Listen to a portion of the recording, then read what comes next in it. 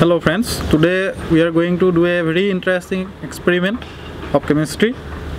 So here I have taken two beakers having two different solutions. One beaker contains acid, other beaker contains base. So let us find out which is acid and which is base.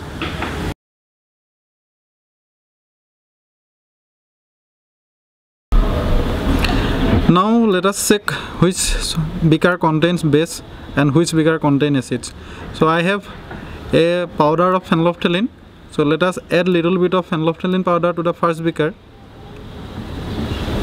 When I add very small amount of phenolphthalein powder to the first beaker, so immediately some pink color appears. So this means this first beaker is having base. So now we can see the very beautiful pink color is coming. If I check the solution properly so then the pink color the intensity of the color it is increasing.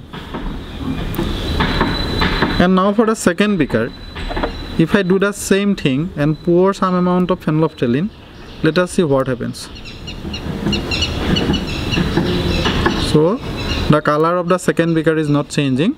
That is why the second beaker is acidic in nature. So acid does not change the color of phenolphthalein into pink while the base changes the color of phenolphthalein into pink